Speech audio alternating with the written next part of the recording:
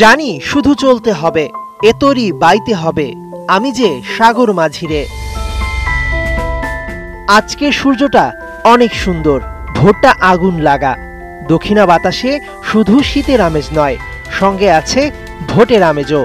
আজ যে দ্বাদশ জাতীয় সংসদ নির্বাচন। ঢাকার প্রবেশদ্বার গাজীপুর দুই আসনে দাঁড়িয়েছেন ক্রীড়া প্রতিমন্ত্রী জাহিদ হাসান রাসেল। তার প্রতিপক্ষ সাবেক মেয়র জাহাঙ্গীর আলমের লোক। আলিমুদ্দিন বুদ্দিন। আকাশে ভাসমান স্বপ্ন, যা বাস্তবায়ন করতে সকাল থেকেই ভোট কেন্দ্রে আসতে থাকে মানুষ।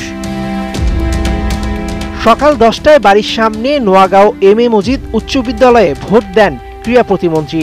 ভোট কেন্দ্র থেকে বেরিয়ে বিশ্বাস রাখেন জনগণের উপর।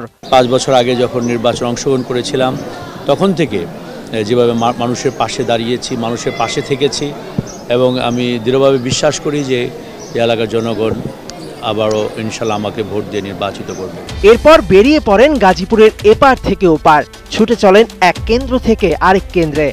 সূর্যি মামা পূব দিক থেকে ততক্ষণে মধ্য গগনে উপভোগ করেন বৃদ্ধ থেকে নতুনরা। মানে আগে দেখতাম বড়রা সবাই দিত তো বড়দের সাথে আসতাম কিন্তু কখনো তো ভোট দিতে পারিনি। এই ফার্স্ট দিলাম খুব ভালো লাগছে। এবার অনেক রিল্যাক্সে ভোট দিলাম কোনো ইয়ে নাই ঝামেলা নাই। লাইনেও দাঁড়ায় থাকতে হয় নাই এসে সরাসরি ভোট কেন্দ্রে চলে গেছি। আমার নিজের স্কুলে আমি নিজে প্রথম ভোট দিলাম আমার এই অভিজ্ঞতাটা একটু ডিফারেন্ট আহসানুল্লাহ মাস্টার ভাওয়াল বীর তার পুত্র রাসেল নৌকার পালেই বেঁধেছে নীর যে কেন্দ্রে গেছেন সিক্ত হয়েছেন ভালোবাসায়। তবে মাঝে কিছু কেন্দ্রে নির্বাচন বানচালের চেষ্টা করেছিল দুর্বৃত্তরা। আমরা তো এখানে নৌকার দুইটা ইয়া মানে কেন্দ্রের মানে লিস্ট লেখার জন্য দুইটা টেবিল ইয়ে সেট করেছি। তো ওরা এসে আমাদেরটা দখল করতে চেয়েছিল আর কি বুঝলেন? তা আমি বলাতে ওরা বলে আমাকে চিনে নেই সেই আবি যাবি বলছে আর কি বুঝলেন? কিন্তু আমরা তো আগেই কালকে থেকে আমরা এগুলো ইয়ে করে সেট আপ করে রেখেছিলাম বুঝলেন? ওরা কাদের লোক? ওরা ওই আপনার ট্রাক মার্কার লোক আর বিকেল চারটায় ভোট কার্যক্রম শেষে শুরু হয় গণনা। গত কয়েকদিনের সব শঙ্কা আর অপেক্ষা অবশেষে কাটলো। নৌকার ধাক্কায় উল্টে গেল ট্রাক। বাইশ হাজারেরও বেশি ভোটে টানা পঞ্চমবারের মতো গাজীপুর দুই আসনে বিজয়ী জাহিদ হাসান রাসেল। একের পর এক বিজয় মিছিল আসতে থাকে রাসেলের বাড়ির সামনে।